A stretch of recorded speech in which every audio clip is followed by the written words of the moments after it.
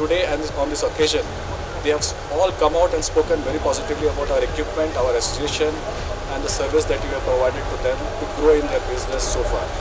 And we are very thankful to the Nepal community as such who has supported us to grow this business in this territory.